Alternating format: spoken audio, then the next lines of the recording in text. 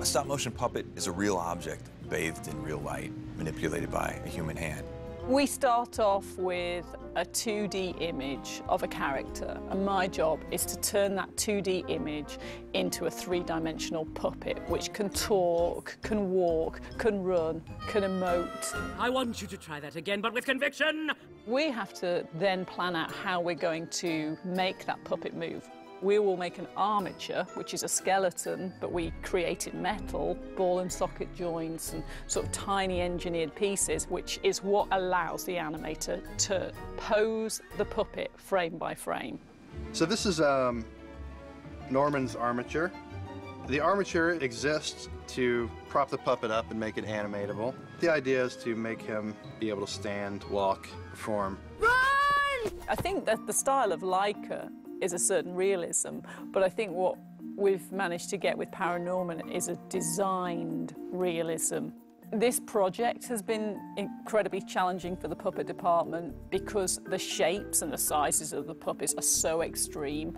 We've got characters that have huge necks. We've got characters with big, thick arms. All the things that are a big no-no in puppet making.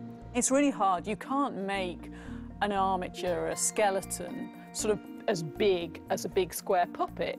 And we've managed to get them working, and you'll see it in the movie, hopefully.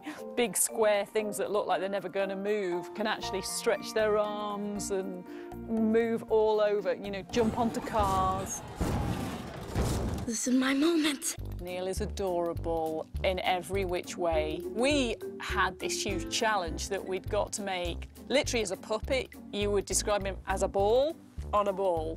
You know, it's like, how on earth are you going to get that to move and giggle and laugh? we wanted to make the most of his little belly, so we put a belly mover in there, so when he giggles, you can see it moving. There's this mechanism that we came up with that's taken from guitar in this case, a guitar tuning device. Belly mover made a huge difference.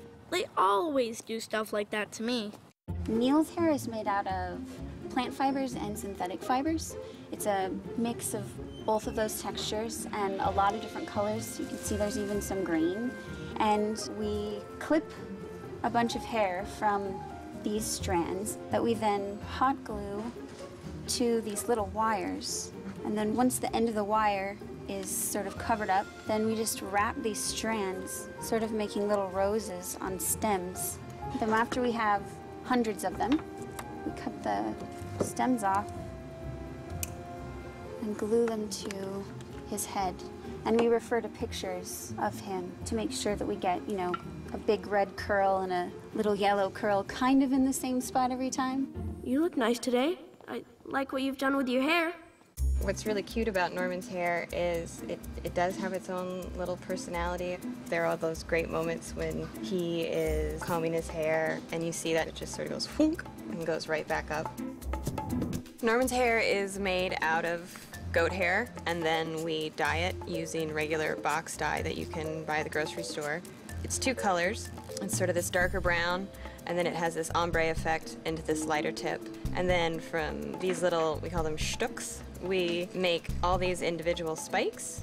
Um, and I think there's over 275 spikes on one Norman head, all made by hand. And each spike is then hand glued onto his little wig cap, and it takes about just a little under a week to build one Norman wig.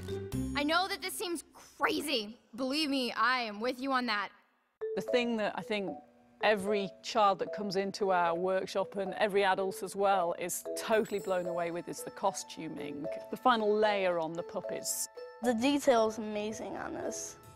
This is Norman. He's wearing his favourite jeans and his favourite hoodie. He's got all his badges on his backpack. Got one there, one there, one there. And then he's got his little favourite key fobs here. We make everything by hand. Everything's hand dyed, hand painted, hand stitched. So these are Norman's shoes, and they are made from this leather. And we colour them ourselves. They wear like real shoes would wear. So it's believable, and that's what we really want. We want all of our costumes to be absolutely believable in the world that they're supposed to exist in.